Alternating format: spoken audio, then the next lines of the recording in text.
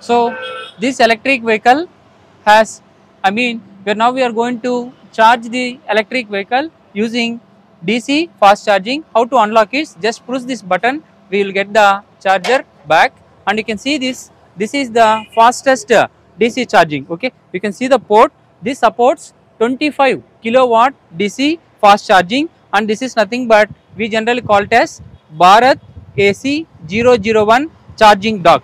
This is the one of the highest power fast charging device. Uh, By using this DC fast charging, we can charge your electric vehicle within 40 minutes, 80% you can get charged. This is DC fast charging and this port is nothing but uh, AC 0 which is nothing but AC and DC which is called as a combined charging station. So directly if you want to charge we have to, we have to connect to the converter. After completing we can insert into the dock.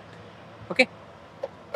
So this is how to directly insert into the dock. So this is for DC fast charging and here we have the another charger which is nothing but a combined charging station and here you can see here now we are charging this uh, Tata Nexon EV. So this is nothing but Tata Nexon EV and now we are charging it by using AC as well as DC which is called combined charging station. Already you can see the status of the charging here. So the charging is already 14.7 53% of battery has been charged and the status is the time left as per the given data we have set it for 100% 42 and coming to the next it will show the 14.8 I mean 15 kilowatts of power has been consumed from the charger and it has been dumped into the vehicle.